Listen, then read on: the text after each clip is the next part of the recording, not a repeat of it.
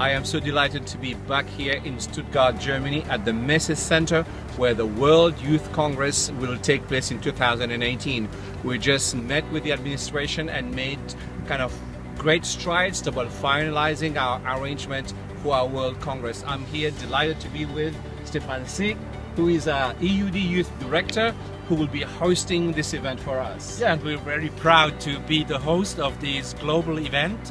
And I think uh, we can provide here the best infrastructure possible for a very good and spiritual uh, Global Youth Ministries Convention. So you shouldn't miss that. And it is in July 2018. So plan to be there uh, Yeah. already now. Make plans, talk to your young people, Yeah. to your leaders, and we look forward to have you here in Stuttgart, Germany, July 2018.